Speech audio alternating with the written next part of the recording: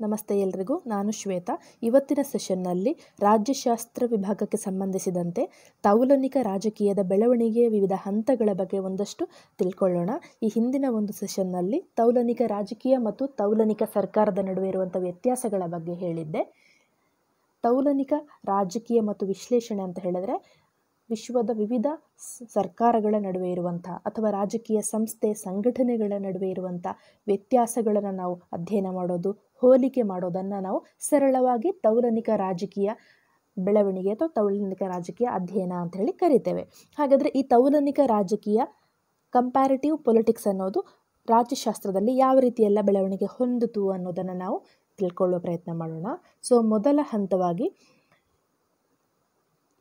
Comparative politics ಅನ್ನೋದು ಎರಡನೆಯ ಮಹಾಯುದ್ಧದವರೆಗೆ ಇರುವಂಥ ಒಂದು ರಾಜಕೀಯ ಬೆಳವಣಿಗೆಯನ್ನು ನಾವು ಮೊದಲ ಹಂತ ಅಥವಾ ಆರಂಭಿಕ ಹಂತ ಅಂತ ಕರಿತೇವೆ. ಅಂದರೆ ಸರಿಸುಮಾರು ಸಾವಿರದ ಒಂಬೈನೂರ ನಲವತ್ತ ಐದನೇ ಇಸವಿಯವರೆಗೂ ಕೂಡ ಕಂಪ್ಯಾರಿಟಿವ್ ಪೊಲಿಟಿಕ್ಸ್ ವಿವಿಧ ರೀತಿಯಲ್ಲಿ ಬೆಳವಣಿಗೆಯನ್ನು ಕಾಣಿತು ಸೊ ಮೊಟ್ಟ ಮೊದಲ ಬಾರಿಗೆ ಅಲ್ಲಿ ಬುನಾದಿಯನ್ನು ಹಾಕಿದವರು ರಾಜ್ಯಶಾಸ್ತ್ರದ ಪಿತಾಮಹ ಅರಿಸ್ಟಾಟಲ್ ಅವರು.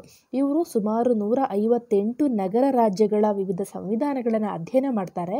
ಸರ್ಕಾರದ ಸ್ವರೂಪ, ಅಂದರೆ ಸರ್ಕಾರ ಯಾವ್ಯಾವ ರೀತಿ ಕಾರ್ಯ ಚಟುವಟಿಕೆಯನ್ನು ನಡೆಸ್ತಾ ಇದೆ ಮತ್ತು ಅಧಿಕಾರವನ್ನು ಚಲಾಯಿಸುವವರ ಸಂಖ್ಯೆಯನ್ನು ಆಧರಿಸಿ ಎಷ್ಟು ಜನ ಅಧಿಕಾರವನ್ನು ಚಲಾಯಿಸ್ತಾ ಇದ್ದಾರೆ, ಯಾರ ಮೇಲೆ ಅಧಿಕಾರವನ್ನು ಚಲಾಯಿ, ಚಲಾಯಿಸ್ತಾ ಇದ್ದಾರೆ, ಇವೆಲ್ಲವನ್ನು ನೋಡಿ ಸರ್ಕಾರಗಳನ್ನು ವಿಂಗಡಣೆ ಮಾಡ್ತಾರೆ.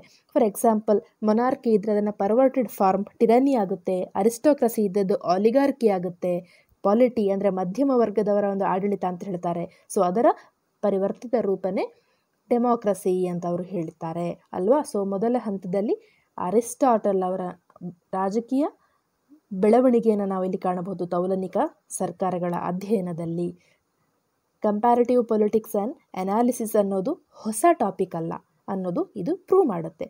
ಸೊ ಎರಡನೇ ಹಂತದಲ್ಲಿ ನೋಡಿ ಪಾಲಿಬಸ್ ಮತ್ತು ಸಿಸಿರೋ ಮುಂತಾದ ಗ್ರೀಕ್ ಚಿಂತಕರನ್ನು ಅಥವಾ ಚಿಂತನೆಗಳಿಂದ ಪ್ರಭಾವಿತರಾದ ರೋಮನ್ನರು ಆ ರಾಜಕೀಯ ಚಿಂತನೆಗಳನ್ನು ಶಾಸನೀಯ ರೂಪದಲ್ಲಿ ಉಪಯೋಗಿಸಿಕೊಳ್ತಾರೆ ರೋಮಲ್ಲಿ ಕಾನೂನನ್ನು ಅಳವಡಿಸಿಕೊಳ್ಳುವಂಥ ಸಂದರ್ಭದಲ್ಲಿ ಪಾಲಿಬಸ್ ಮತ್ತು ಸಿಸಿರು ಅವರ ರಾಜಕೀಯ ಚಿಂತನೆಗಳನ್ನು ಅವರು ಬಳಸ್ಕೊಳ್ತಾರೆ. ಅಂದರೆ ಇನ್ನೊಂದು ದೇಶದಿಂದ ಅವರು ಅಡಾಪ್ಟ್ ಮಾಡಿಕೊಂಡ್ರು ಅಂತ ಆಯಿತು. ಹೋಲಿಸಿ ನೋಡಿದ್ರು ಅಲ್ವಾ ಅಲ್ಲಿ ಏನು ಸರಿ ಇರಲಿಲ್ಲ. ಇನ್ನೊಂದು ದೇಶದಿಂದ ತಿಳ್ಕೊಂಡು ಅದನ್ನು ತಮ್ಮ ರಾಜಕೀಯ ಚಟುವಟಿಕೆಗಳಲ್ಲಿ ಅಳವಡಿಸುವಂಥ ಪ್ರಯತ್ನ ಮಾಡಿದರು. ಸೊ ಇಲ್ಲಿ ಕಂಪ್ಯಾರಿಟಿವ್ ಪೊಲಿಟಿಕ್ಸ್ ಅಂತ ಈಸಿಯಾಗಿ ನಿಮಗೆ ಅರ್ಥವಾಗುತ್ತೆ ಅಲ್ವಾ?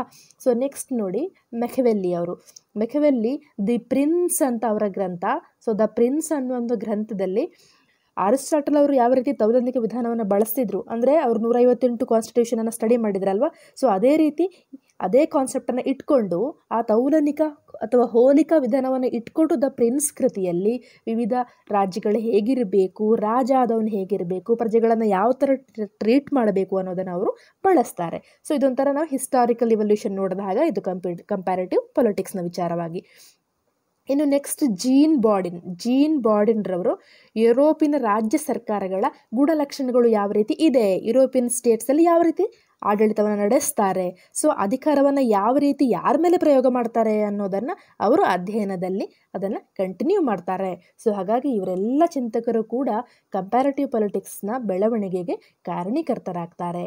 ಸೊ ನೆಕ್ಸ್ಟ್ ನಾವು ನೋಡೋಣ ಮಾಂಟೆಸ್ಕೋರ್ ಅವರು ಮಾಂಟೆಸ್ಕೋ ತಮ್ಮ ಅಧಿಕಾರ ವಿಭಜನೆ ಸಿದ್ಧಾಂತ ಸಪರೇಷನ್ ಆಫ್ ಪವರ್ ಅಂತ ಒಂದು ಅಧಿಕಾರ ವಿಭಜನೆ, ಅಂದರೆ ಪ್ರತಿಯೊಂದು ಸರ್ಕಾರದ ಅಂಗಗಳೂ ಕೂಡ ಇನ್ನೊಂದು ಅಂಗದ ಕಾರ್ಯವ್ಯಾಪ್ತಿಯೊಳಗೆ ಹಸ್ತಕ್ಷೇಪ ಮಾಡದೆ ಸ್ವತಂತ್ರವಾಗಿ ಕಾರ್ಯನಿರ್ವಹಣೆ ಮಾಡಬೇಕು ಅನ್ನುವಂಥ ಒಂದು ಅವರ ಸಿದ್ಧಾಂತ.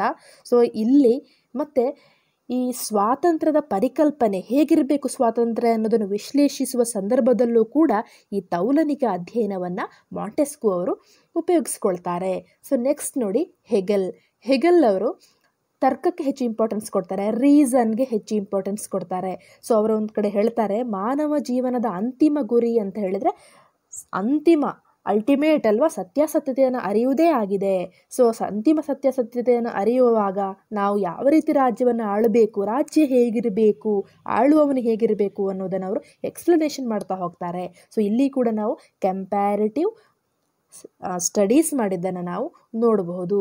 ಇನ್ನು ಅದೇ ರೀತಿ ಇನ್ನೊಬ್ಬ ರಾಜಕೀಯ ಚಿಂತಕರನ್ನು ನೋಡೋದಾಗಿದ್ದರೆ ಅವರು Karl Marx so Karl Marx ಅವರು ತನಿಖಾ ರೂಪದಲ್ಲಿ ಇನ್ವೆಸ್ಟಿಗೇಷನ್ ಮಾಡ್ತಾರೆ. ಇನ್ವೆಸ್ಟಿಗೇಷನ್ ಮಾಡ್ತಾ ಯಾವ ರೀತಿ ರಾಜಕೀಯ ಬೆಳೆದ ಬೆಳವಣಿಗೆ ಆಯಿತು, ರಾಜ್ಯಗಳ ಉಗಮ ಯಾವ ರೀತಿ ಆಯಿತು ಅಂತ ಅವ್ರು ಹೇಳ್ತಾ ಹೋಗ್ತಾರೆ. ಸೊ ಇಲ್ಲಿ ಅವರ ವರ್ಗ ಸಿದ್ಧಾಂತದ ಮೂಲಕ ಕ್ಲಾಸ್ ಅಲ್ವಾ? ಸೊ ವರ್ಗ ಸಿದ್ಧಾಂತದ ಮೂಲಕ ಆರ್ಥಿಕತೆ ಅನ್ನುವಂಥದ್ದು ರಾಜಕೀಯ ಮತ್ತು ಸಾಮಾಜಿಕ ಸಂಸ್ಥೆಗಳ ಬೆಳವಣಿಗೆಗೆ ಮೂಲ ಅಲ್ವಾ? ಫೌಂಡೇಶನ್ ಅನ್ನೋದು ಇಕನಾಮಿ ಸೊ ಹಾಗೆ ಇಕನಾಮಿಕ್ ಆ್ಯಕ್ಟಿವಿಟೀಸೇ ಫೌಂಡೇಶನ್ ಆಗಿರುವ ಕಾರಣಕ್ಕೆ ಸೊ ಅದರ ಮೇಲೆ ನಿಂತಿರುವಂಥದ್ದು ರಾಜಕೀಯ ಮತ್ತು ಸಾಮಾಜಿಕ ಸಂಸ್ಥೆಗಳು ಅಂತ ಅವರು ಹೇಳ್ತಾರೆ ಸೊ ಹಾಗಾಗಿ ಇದೆಲ್ಲವನ್ನು ಕೂಡ ನಾವು ಅವರು ಯಾವ ರೀತಿ ಹೋಲಿಕೆ ಮಾಡಿ ಅಧ್ಯಯನ ಮಾಡಿದ್ರು, ತಮ್ಮ ಬರವಣಿಗೆಯಲ್ಲಿ ಪ್ರಯೋಗ ಮಾಡಿದ್ರು ಅನ್ನೋದನ್ನು ತಿಳಿಸ್ಕೊಡ್ತಾರೆ. ಸೊ ಇದು ಆರಂಭಿಕ ಹಂತ. ಯಾವ್ಯಾವ ಚಿಂತಕರು, ಪ್ರಮುಖ ಚಿಂತಕರು ಯಾವ ರೀತಿ ಹೋಲಿಕೆಯ ವಿಧಾನವನ್ನು ಉಪಯೋಗಿಸ್ಕೊಂಡ್ರು ತಮ್ಮ ಅಧ್ಯಯನದಲ್ಲಿ? ಈ ರೀತಿಯಾಗಿ ತೌಲನಿಕದ ತೌಲನಿಕ ಅಧ್ಯಯನ ರಾಜ್ಯಶಾಸ್ತ್ರದಲ್ಲಿ ಬೆಳವಣಿಗೆ ಆಯಿತು ಅನ್ನೋದನ್ನು ನಾವು ತಿಳ್ಕೊಳ್ತಾ ಇದ್ದೇವೆ. ಸೊ ಇನ್ನು ಪ್ರಮುಖ ಚಿಂತಕರನ್ನು ನಾವು ನೋಡೋದಾಗಿದ್ರೆ, ಅಂದರೆ ಆರಂಭಿಕ ಹಂತದಲ್ಲಿ ಎರಡನೆಯ ಮಹಾಯುದ್ಧದ ಆರಂಭದವರೆಗೂ ಜೇಮ್ಸ್ ಬ್ರೈಸ್ ಜೇಮ್ಸ್ ಬ್ರೈಸ್ ಅವರು ಮಾಡರ್ನ್ ಡೆಮೋಕ್ರಸೀಸ್ ಅಂತ ಒಂದು ಗ್ರಂಥ ಬರೆದಿದ್ದಾರೆ. ಹರ್ಮನ್ ಫೈನರ್ ಅವರು theory and practice of governments ಅನ್ನೋ ಗ್ರಂಥ ಬರೀತಾರೆ ಇನ್ನು ಸಿ ಜೆ ಫ್ರೆಡ್ರಿಕ್ ಅವರು ಕಾನ್ಸ್ಟಿಟ್ಯೂಷನಲ್ ಗೌರ್ಮೆಂಟ್ ಆ್ಯಂಡ್ ಡೆಮೋಕ್ರಸಿ ಅನ್ನುವಂಥ ಒಂದು ಗ್ರಂಥ ಬರೀತಾರೆ. ಸೀಲೆಯವರು ಇಂಟ್ರೊಡಕ್ಷನ್ ಟು ಪೊಲಿಟಿಕಲ್ ಸೈನ್ಸ್ ಅನ್ನುವಂಥ ಒಂದು ಕೃತಿಯನ್ನು ಬರೀತಾರೆ. ಅದೇ ರೀತಿ ಎಡ್ವರ್ಡ್ ಜೇಮ್ಸ್ ಅವರು a short history of politics ಅನ್ನುವ ಗ್ರಂಥ ಬರೀತಾರೆ. ಇವೆಲ್ಲವೂ ಕೂಡ ಮೊದಲ ಹಂತದಲ್ಲಿ ಯಾವ ರೀತಿ ತೌಲನಿಕ ಅಧ್ಯಯನ ರಾಜ್ಯಶಾಸ್ತ್ರದಲ್ಲಿ ಬೆಳವಣಿಗೆ ಹೊಂದಿತು ಅನ್ನೋದನ್ನು ಸೂಚಿಸ್ತವೆ. ಇನ್ನು ನೆಕ್ಸ್ಟ್ ನಾವು ನೋಡೋಣ ದ್ವಿತೀಯ ಹಂತ. ನಾವು ಈಗಾಗಲೇ ತಿಳ್ಕೊಂಡಿದ್ದೇವೆ, ಪ್ರಥಮ ಹಂತ ರಾಜ್ಯಶಾಸ್ತ್ರದ್ದು ಅರಿಸ್ಟಾಟಲ್ನ ಕಾಲದಿಂದ ಹಿಡಿದು ಎರಡನೆಯ ಮಹಾಯುದ್ಧ ಆಗುವವರೆಗೂ ತೌಲನಿಕ ಅಧ್ಯಯನ ಬೆಳೆದು ಬಂದಿದ್ದು ಅಂತ ಹೇಳಿ ಎರಡನೆಯ ಹಂತ ಯಾವಾಗ ಬೆಳೆದು ಬಂದಿದ್ದು ಅಂತ ಹೇಳಿದರೆ, ಎರಡನೆಯ ಮಹಾಯುದ್ಧದ ನಂತರ. ಎರಡನೇ ಮಹಾಯುದ್ಧದ ನಂತರ ದ್ವಿತೀಯ ಹಂತ ಆರಂಭವಾಗುತ್ತೆ ಕಂಪ್ಯಾರಿಟಿವ್ ಪೊಲಿಟಿಕ್ಸಲ್ಲಿ ಸೊ ಇಲ್ಲಿ ರಾಜಕೀಯ ಸತ್ಯಾನ್ವೇಷಣೆಗಳನ್ನು, ನವೀನ ತಂತ್ರಗಳ ಮೂಲಕ, ಹೊಸ ಹೊಸ ತಂತ್ರಗಳನ್ನು ಉಪಯೋಗಿಸಿಕೊಂಡು ರಾಜಕೀಯ ಕಾರ್ಯಚಟುವಟಿಕೆಗಳು ಯಾವ ರೀತಿ ನಡೆಯುತ್ತೆ, ಸಂಸ್ಥೆಗಳ ಪಾತ್ರವೇನು, ಸೊ, ರಾಜಕೀಯೇತರ ಸಂಸ್ಥೆಗಳು, ಸರ್ಕಾರೇತರ ಸಂಸ್ಥೆಗಳ ಪಾತ್ರ ಏನು ಅನ್ನೋದನ್ನು ಅಲ್ಲಿ ಹೆಚ್ಚು ಇಂಪಾರ್ಟೆನ್ಸ್ ಕೊಟ್ಟು ಅಲ್ಲಿ ಅಧ್ಯಯನ ಮಾಡಲಾಗುತ್ತೆ. ಸೊ ಇಲ್ಲಿ ಆಲ್ಮಂಡ್ ಆಗಿರ್ಬೋದು, ಕೋಲ್ಮನ್, ಬೀರ್ ಅಲಮ್ ಎಕ್ಸ್ಟೈನ್ ಆ್ಯಪ್ಟೆರ್ ಮುಂತಾದವರು ಈ ದ್ವಿತೀಯ ಹಂತದಲ್ಲಿ ಪ್ರಚಲಿತಕ್ಕೆ ಬರ್ತಾರೆ. ಸೊ ಇಲ್ಲಿ ಮುಖ್ಯವಾಗಿ ಹಳೆಯ ಸಾಂಪ್ರದಾಯಿಕ ರಾಜಕೀಯ ಅಧ್ಯಯನ ವಿಧಾನಗಳು ಕೇವಲ ವಿವರಣಾತ್ಮಕವಾಗಿದ್ವು ಅಲ್ವಾ? ಈಗ ಎರಡನೇ ಮಹಾಯುದ್ಧ ಆಗುವವರೆಗೂ ನಾವು ಟ್ರೆಡಿಷನಲ್ ಪೊಲಿಟಿಕಲ್ ಸೈನ್ಸ್ ಅಲ್ಲಿ ಏನು ಓದ್ತೇವೆ? ಐತಿಹಾಸಿಕ ವಿಧಾನ, ತಾತ್ವಿಕ ವಿಧಾನ, ಮೌಲ್ಯಾಧಾರಿತ ವಿಧಾನಗಳನ್ನು ನಾವು ಓದ್ತೇವೆ ಅಲ್ವಾ?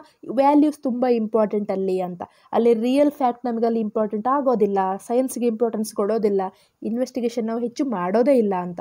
ಸೊ ಹಾಗಾಗಿ ಎಷ್ಟೋ ರಾಜಕೀಯ ಚಿಂತಕರ ಅಸಹನೆ ಕೋಪಕ್ಕೆ ತುತ್ತಾಗಿತ್ತು. ಸೊ ಪೊಲಿಟಿಕ್ಸ್ ಅನ್ನುವಂಥದ್ದು ಸತ್ಯಾಸತ್ಯತೆ ಮತ್ತು ವಾಸ್ತವವನ್ನು ಅರ್ಥ ಮಾಡಿಕೊಳ್ಳುವಂಥ ಒಂದು ಅಧ್ಯಯನ ವಿಧಾನ ಆಗಬೇಕು ಅಂತ ಹೇಳಿ. ಸೊ ಈ ಹಂತದಲ್ಲಿ ರಾಜಕೀಯ ಸಂಸ್ಥೆಗಳ ನಿಖರ ಗುರಿ ಮತ್ತು ಉದ್ದೇಶಗಳನ್ನು ಅಧ್ಯಯನ ಮಾಡಲಾಗುತ್ತೆ. ಸೊ ರಾಜಕೀಯ ಸಂಸ್ಥೆಗಳು ಯಾಕಾಗಿ ಬಂದವು? ರಾಜ್ಯ ಯಾಕಾಗಿ ಉದ್ಭವ ಆಯಿತು ಅದರ ಗುರಿ ಏನು? ಸೊ ಎಲ್ಲ ಜನರಿಗೆ ಒಳ್ಳೆಯದನ್ನು ಮಾಡಲಿಕ್ಕೆ ಅಲ್ವಾ? ಉದ್ದೇಶ ಏನು? ಯಾವ ರೀತಿ ರಾಜ್ಯ ಸರ್ಕಾರ ಇರಬೇಕು?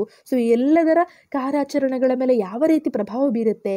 ಸೊ ಇಲ್ಲಿ ಅಂತರ್ಶಿಸ್ತಿಯ ಅಧ್ಯಯನಗಳನ್ನು ಕೂಡ ಕೈಗೊಳ್ಳಲಾಗಿತ್ತು. ಹಿಂದೆ ಪೊಲಿಟಿಕಲ್ ಸೈನ್ಸ್ ಅಂತ ಹೇಳಿದ್ರೆ ಎರಡನೇ ಮಹಾಯುದ್ಧದವರೆಗೂ ಕೇವಲ ಪೊಲಿಟಿಕ್ಸ್ ಬಗ್ಗೆ ಮಾತ್ರ ಅಲ್ಲಿ ಅಧ್ಯಯನ ಮಾಡಲಾಗಿತ್ತು ರಾಜ್ಯದ ಕರ್ತವ್ಯ ಏನು ಅಂತ. ಸ್ಟೇಟ್ ಅನ್ನೋದು ಸೆಂಟ್ರಲ್ ಪಾಯಿಂಟಲ್ಲಿ ಉಳ್ಕೊಳ್ತು ಅಲ್ವಾ? ಸೊ ಇವಾಗ ಆ ರೀತಿಯಲ್ಲ ಅಂತರ್ಶಿಸ್ತೀಯ ವಿಧಾನ. ಸೊ ಬೇರೆ ಸಬ್ಜೆಕ್ಟ್ಗಳು ಬೇರೆ ವಿಭಾಗಗಳು ಸಮಾಜಶಾಸ್ತ್ರ ಆಗಿರಬಹುದು, ಅರ್ಥಶಾಸ್ತ್ರ ಆಗಿರ್ಬೋದು ಅಲ್ಲಿ ಅಳವಡಿಸಿಕೊಂಡಿರುವಂಥ ಕೆಲವು ನವೀನ ತಂತ್ರಜ್ಞಾನಗಳನ್ನು ನಾವು ರಾಜ್ಯಶಾಸ್ತ್ರದಲ್ಲೂ ಅಧ್ಯಯನ ಮಾಡಬೇಕು.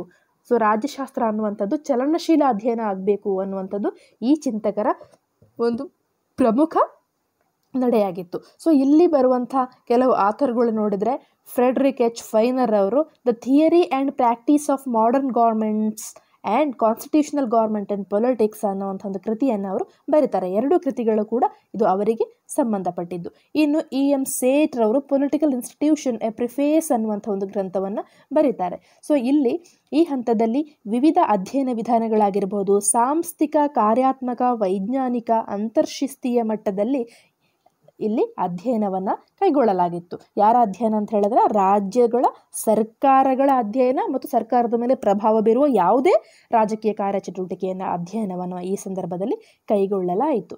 ಇನ್ನು ತೃತೀಯ ಹಂತ, ಕೊನೆಯ ಹಂತ ಅಂದರೆ ಎರಡನೇ ಯುದ್ಧ ಆದ ನಂತರ ಒಂದು ಫಿಫ್ಟಿ ಫಾರ್ಟಿ ಇಯರ್ಸ್ನ ತಗೊಳ್ಳೋದಾಗಿದ್ರೆ ಅದಾದ ನಂತರದ ಇತ್ತೀಚಿನ ಬೆಳವಣಿಗೆಗಳು ಅಂತ ನಾವು ನೋಡೋದಾಗಿದ್ರೆ ಇಲ್ಲಿ ಆಲ್ಮಂಡ್ ಮತ್ತು ಜೆ ಎಸ್ ಕೋಲ್ಮನ್ ರವರ ಪೊಲಿಟಿಕ್ಸ್ ಆಫ್ ಡೆವಲಪಿಂಗ್ ನೇಷನ್ಸ್ ಇಂದ ಈ ತೃತೀಯ ಹಂತ ಆರಂಭವಾಗುತ್ತೆ. ಸೊ ಇವರು ಎರಡನೇ ಹಂತದಲ್ಲೂ ಕೂಡ ಕೆಲಸ ಕಾರ್ಯಗಳನ್ನು ಮಾಡಿದ್ರು. ಸೊ ಅದಕ್ಕಿಂತ ಭಿನ್ನವಾಗಿ ಈ ರಾಜಕೀಯ ಚಟುವಟಿಕೆಗಳ ಅಧ್ಯಯನವನ್ನು ಇವರು ಕೈಗೊಳ್ತಾರೆ. ಸೊ ಇಲ್ಲಿ ಹೋಲಿಕೆ ಮಾಡೋದು ಇಂಪಾರ್ಟೆಂಟ್ ವಿಶ್ಲೇಷಣೆ ಮಾಡುವುದು ಕೂಡ ಇಂಪಾರ್ಟೆಂಟ್ ಅನಾಲಿಸಿಸ್ ಇಂಪಾರ್ಟೆಂಟ್ ಕಂಪ್ಯಾರಿಸನ್ ಕೂಡ ಇಂಪಾರ್ಟೆಂಟ್ ಅದಕ್ಕೆ ಈ ತೌಲನಿಕ ಅಧ್ಯಯನದ ಒಂದು ಸಬ್ಜೆಕ್ಟ್ ಮ್ಯಾಟರ್ನ ಹೆಸರೇ ಏನು ಕೊಟ್ಟಿದ್ದಾರೆ? ಕಂಪ್ಯಾರಿಟಿವ್ ಪಾಲಿಟಿಕ್ಸ್ ಅಂತ ಇರುವಂಥದ್ದಲ್ವ ಕಂಪ್ಯಾರಿಟಿವ್ ಪೊಲಿಟಿಕ್ಸ್ ಆ್ಯಂಡ್ ಅನಾಲಿಸಿಸ್ ಅಂತ ಕೊಟ್ಟಿದ್ದಾರೆ. ಸೊ ವಿವಿಧ ಸರ್ಕಾರಗಳ ಅಧ್ಯಯನ ಮಾಡೋದು ಮಾತ್ರ ಅಲ್ಲ, ಅದನ್ನು ಹೋಲಿಸಿ ನೋಡಬೇಕು ನಾವು. ನಮ್ಮಲ್ಲಿ ಅದನ್ನು ಅಡಾಪ್ಟ್ ಮಾಡಬೇಕು, ಅಥವಾ ಎಲ್ಲರ ಸಮಸ್ಯೆಗಳಾದ್ರೆ ಅದಕ್ಕೆ ಪರಿಹಾರ ಕಂಡು ಹುಡುಕಬೇಕು. ವಿವಿಧ ದೇಶಗಳ ಸರ್ಕಾರಗಳಲ್ಲಿ ಉದ್ಭವ ಆಗುವ ತೊಂದರೆಗಳನ್ನು ನಿವಾರಿಸಬೇಕು, ಮತ್ತು ವಿಶ್ಲೇಷಣೆ ಕೈಗೊಳ್ಳಬೇಕು. ಯಾಕೆ ಹೀಗಾಯಿತು? ಯಾಕೆ ಸ್ಟೇಟ್ ಫೇಲ್ ಆಗ್ತಾ ಇದೆ? ಭಯೋತ್ಪಾದಕ ಚಟುವಟಿಕೆ, ಮೂಲಭೂತತ್ವ, ಇದರಲ್ಲಿ ಯಾಕೆ ಬರ್ತಾ ಇದೆ? ಸೊ ಪ್ರಜೆಗಳಿಗೆ ಅಥವಾ ಜನರಿಗೆ ವಿಶ್ವಾಸವಿಲ್ವ ರಾಜ್ಯ ಸರ್ಕಾರದ ಮೇಲೆ ಅಥವಾ ರಾಜ್ಯವನ್ನು ಹೊರತಾದ ಇನ್ನೊಂದು ಸಂಸ್ಥೆ ಉದ್ಭವ ಆಗುತ್ತಾ? ಸೊ ಎಲ್ಲದರ ಬಗ್ಗೆಯೂ ವಿಶ್ಲೇಷಣೆ ಮಾಡುವಂಥದ್ದು ಈ ಸಂದರ್ಭದಲ್ಲಿ ನಡೆಯುತ್ತೆ. ಸೊ ಇಲ್ಲಿ ಡೇವಿಡ್ ಈಸ್ಟನ್ ಸೊ ಅವರ ಅಂತರ್ಗಮನ ಮತ್ತು ನಿರ್ಗಮನ ಕಾರ್ಯಗಳು ಒಂದು ವ್ಯವಸ್ಥೆಯ ಕಾರ್ಯಚಟುವಟಿಕೆಯ ಬಗ್ಗೆ ತಿಳಿಸುತ್ತೆ. ಸೊ ಆಲ್ಮಂಡ್ ಅವರು ಕೂಡ ಇದರ ಮೇಲೆ ವರ್ಕ್ ಮಾಡಿದ್ದಾರೆ ಅಲ್ವಾ? ಇನ್ಪುಟ್ ಮತ್ತು ಔಟ್ಪುಟ್ ಮಾಡೆಲ್ ಅಂತ ನಾವು ಕರೀತೇವೆ. ಸೊ ಇವೆಲ್ಲವೂ ಕೂಡ ತುಂಬ ಇಂಪಾರ್ಟೆಂಟ್ ನಮಗೆ. ಇನ್ನು ನೆಕ್ಸ್ಟ್ ಮೇಯ್ನ್ ಕನ್ಸರ್ನ್ ಏನಾಗಿತ್ತು ಅಂತ ಹೇಳಿ ನಾವು ನೋಡೋದಾಗಿದ್ರೆ ಈ ತೃತೀಯ ಹಂತದಲ್ಲಿ ಅಭಿವೃದ್ಧಿ ಹೊಂತಾ ಇರುವ ಸಮಾಜ ಅಂತ ಹೇಳ್ತೇವೆ. ಯಾರನ್ನ ಇದನ್ನು? ಸೊ ಇಂಗ್ಲೀಷ್ನಲ್ಲಿ ಪರ್ಫೆಕ್ಟಾಗಿ ನೀವು ಅಂಡರ್ಸ್ಟ್ಯಾಂಡ್ ಮಾಡ್ಬೋದು. ಆಫ್ರೋ ಏಷ್ಯನ್ ಲ್ಯಾಟಿನ್ ಅಮೇರಿಕಾವನ್ನು ಆಫ್ರೋ ಏಷ್ಯನ್ ಆಫ್ರಿಕಾ ಮತ್ತು ಏಷ್ಯಾದ ಹೊಸದಾಗಿ ಉದಯವಾದಂಥ ರಾಷ್ಟ್ರಗಳು ಮತ್ತು ದಕ್ಷಿಣ ಅಮೇರಿಕದ ವಿವಿಧ ರಾಷ್ಟ್ರಗಳು. ಸೊ ಅಮೇರಿಕ ಅಂದ ತಕ್ಷಣ ನಮಗೆ ಯುನೈಟೆಡ್ ಸ್ಟೇಟ್ಸ್ ಆಫ್ ಅಮೇರಿಕ ನೆನಪಾಗುತ್ತೆ. ಅದಲ್ಲ, ದಕ್ಷಿಣ ಅಮೇರಿಕಾದಲ್ಲಿರುವಂಥ ಬಹುತೇಕ ರಾಷ್ಟ್ರಗಳೆಲ್ಲವೂ ಹಿಂದುಳಿದಂಥ ರಾಷ್ಟ್ರಗಳು. ಇನ್ನೂ ಕೂಡ ಅಭಿವೃದ್ಧಿ ಹೊಂದ್ತಾ ಇವೆ ಸೊ ಹಾಗಾಗಿ ಆಫ್ರಿಕಾ, ಏಷ್ಯಾ ಮತ್ತು ದಕ್ಷಿಣ ಅಮೇರಿಕದ ವಿವಿಧ ರಾಷ್ಟ್ರಗಳು ಇತ್ತೀಚೆಗೆ ತಾನೇ ಬೆಳವಣಿಗೆಯನ್ನು ಕಾಣ್ತಾ ಇದ್ದೇವೆ, ಇದ್ದಾರೆ. ಅಂದರೆ ಡೆವಲಪಿಂಗ್ ಸೊಸೈಟೀಸ್ ಅಲ್ವಾ? ಸೊ ಈ ಡೆವಲಪಿಂಗ್ ಸೊಸೈಟೀಸ್ ಮೇಲಿರುವಂಥ ಅಧ್ಯಯನವನ್ನು ಹೆಚ್ಚು ಕೈಗೊಳ್ಳಲಾಗುತ್ತೆ. ಸೊ ಮೂರನೇ ಹಂತದಲ್ಲಿ ಆಯಿತಾ ಸೊ ಮೊದಲೆಲ್ಲ ಏನು ಮಾಡ್ತಾಯಿದ್ರು ಫಸ್ಟ್ ಮೊದಲ ಹಂತದಲ್ಲಿ ಎರಡನೇ ಮಹಾಯುದ್ಧ ಆಗುವವರೆಗೂ ಯೂರೋ ಸೆಂಟ್ರಿಕ್ ಆಗಿತ್ತು. ಯುರೋಪ್ನ ಅಧ್ಯಯನ ಮಾತ್ರ ಅಲ್ಲಿ ನಡೀತಾ ಇತ್ತು. ಅಲ್ವಾ? ಗ್ರೀಕ್ ರೋಮ್ ಅಷ್ಟೇ ಸುತ್ತಾ ಇತ್ತು ಅಲ್ವಾ? ಸೊ ಅದು ಬಿಟ್ಟು ಈಗ ಮೂರನೇ ಹಂತದಲ್ಲಿ ಅಭಿವೃದ್ಧಿ ಹೊಂದ್ತಾ ಇರುವ, ಆಗಷ್ಟೇ ಉದಯವಾಗಿರುವ ದೇಶಗಳ ಅಧ್ಯಯನವನ್ನು ಇಲ್ಲಿ ಕೈಗೊಳ್ಳಲಾಗುತ್ತೆ. ಸೊ ಇಲ್ಲಿ ಬರುವ ಪ್ರಮುಖ ಚಿಂತಕರು ಅಂತ ಹೇಳಿದರೆ George ಮೆಖೆನ್ May Myron Weiner Lucian Pye Keith Callard Leonard Binder John Johnson William Gutteridge S C Finer ಮುಂತಾದ ಲೇಖಕರು ಹೆಚ್ಚಾಗಿ ಪ್ರಭಾವವನ್ನು ಬೀರ್ತಾರೆ. ಸೊ ಇಲ್ಲಿ ಕಂಪ್ಯಾರಿಟಿವ್ ಪಾಲಿಟಿಕ್ಸ್ ಅನ್ನುವಂಥದ್ದು ಎಲ್ಲಿಗೆ ಬಂದು ನಿಲ್ತು ಅಂತ ಹೇಳಿದರೆ, ಇದೊಂದು ನಾನ್ ವೆಸ್ಟರ್ನ್ ಡಾಟಾ ಆಯಿತಾ? ಕೇವಲ ಯುರೋಪಿದ್ದಲ್ಲ. ಸೊ ಎಲ್ಲ ರಾಷ್ಟ್ರಗಳನ್ನು ಕೂಡ ಒಳಗೊಂಡಿದ ಒಂದು ಅಧ್ಯಯನ ಅಂತ ಹೇಳಿ. ಸೊ ಬರ್ತ್ ಆಫ್ ಬಿಹೇವಿಯರಲಿಸಮ್ ಚರ್ಯಾವಾದ, ನಡವಳಿಕಾವಾದ, ವ್ಯಕ್ತಿಗೆ ಮಹತ್ವ ಕೊಡುವಂಥದ್ದು ಕೂಡ ಎರಡನೇ ಮಹಾಯುದ್ಧ ಆದ ಮೇಲೆ ಹೆಚ್ಚಿಗೆ ಬೆಳವಣಿಗೆಯನ್ನು ಕಾಣುತ್ತದೆ. ಅದರ ಜೊತೆಗೆ ಕಲ್ಚರಲ್ ಮತ್ತು ಇಂಡಿವಿಜುವಲಿಸ್ಟಿಕ್ ಮೆಥಡ್ ವ್ಯಕ್ತಿಗತವಾಗಿರುವಂಥ ಮತ್ತು ಸಾಂಸ್ಕೃತಿಕ ಅಧ್ಯಯನವನ್ನು ಕೂಡ ರಾಜ್ಯಶಾಸ್ತ್ರದಲ್ಲಿ ಕೈಗೊಳ್ಳಲಾಗಿತ್ತು. ಸೊ ಒಂದು ಸಮಾಜ ವ್ಯವಸ್ಥೆ ಅಭಿವೃದ್ಧಿ ಆಯಿತು. ಒಂದು ಸರ್ಕಾರ ಬಂತು, ರಾಜ್ಯ ಬಂತು ಅಂತ ಹೇಳಿದಾಗ ಸಂಸ್ಕೃತಿ ಯಾವ ರೀತಿ ಪ್ರಭಾವ ಬೀರಿದೆ, ಸಾಂಸ್ಕೃತಿಕತೆ ಅನ್ನುವಂಥದ್ದು ಯಾವ ರೀತಿ ಜನರ ಮೇಲೆ ಪ್ರಭಾವ ಬೀರಿದೆ. ಸೊ ಅದರಿಂದಾಗಿ ಜನರು ತುಂಬ ಸಾಂಪ್ರದಾಯಿಕ ಮನೋಭಾವವನ್ನು ಹೊಂದಿದ್ರೆ ಆ ರಾಜ್ಯವನ್ನು ಒಪ್ಪಿಕೊಳ್ಳಬಹುದು, ತಿರಸ್ಕರಿಸಬಹುದು. ಎರಡೂ ಚಾನ್ಸಸ್ ಇದೆ ಅಲ್ವಾ? ಸೊ ಅದು ಅದನ್ನು ಕೂಡ ಅಧ್ಯಯನ ಮಾಡಬೇಕಾಗತ್ತೆ. ಸೊ ಸೋಷಿಯಲಾಜಿಕಲ್ ಇನ್ಫ್ಲುಯೆನ್ಸ್ ಸಾಮಾಜಿಕ ಪ್ರಭಾವ ಏನದ್ರದ್ದು? ತುಂಬ ಟ್ರೆಡಿಷನಲ್ ಸೊಸೈಟಿ ಆದರೆ ತಕ್ಷಣದ ಚೇಂಜಸ್ ಅನ್ನೋದು ಬಯಸೋದಿಲ್ಲ, ಅಲ್ವಾ? ಸೊ ಇದೆಲ್ಲವನ್ನು ಕೂಡ ನಾವು ಈ ಮೂರನೇ ಹಂತದಲ್ಲಿ ಅಧ್ಯಯನ ಮಾಡ್ತೇವೆ. ಸೊ ಒಟ್ಟಿನಲ್ಲಿ ಕಂಪ್ಯಾರಿಟಿವ್ ಪೊಲಿಟಿಕ್ಸ್ ಅನ್ನುವಂಥದ್ದು, ತೌಲನಿಕ ರಾಜಕೀಯ ಮತ್ತು ವಿಶ್ಲೇಷಣೆ ಅನ್ನುವಂಥದ್ದು, ರಾಜ್ಯಶಾಸ್ತ್ರವನ್ನು ಅಧ್ಯಯನ ಮಾಡ್ತಿರುವಂಥ ಪ್ರತಿಯೊಬ್ಬರಿಗೂ ಕೂಡ ಬಹಳನೇ ಇಂಪಾರ್ಟೆಂಟ್ ಅಂತ ನಾನು ಹೇಳಲಿಕ್ಕೆ ಬಯಸ್ತೇನೆ. ಸೊ ಮುಂದುವರಿದಂತೆ ತೌಲನಿಕ ರಾಜಕೀಯ ಮತ್ತು ಸರ್ಕಾರದ ವಿವಿಧ ಸೆಷನ್ಗಳ ಬಗ್ಗೆ ಈ ಥರ ಕೀ ಪಾಯಿಂಟ್ಸ್ ಬರ್ಕೊಂಡು ನಾನು ಎಕ್ಸ್ಪ್ಲೇನ್ ಮಾಡ್ತೇನೆ. ಯಾಕಂದರೆ ನನಗೂ ಕೂಡ ಸಮಯ ಉಳಿತಾಯ ಆಗುತ್ತೆ. ನೆಕ್ಸ್ಟ್ ಸೆಷನ್ನಲ್ಲಿ ನಿಮ್ಮನ್ನು ಭೇಟಿಯಾಗ್ತೇನೆ. Thank you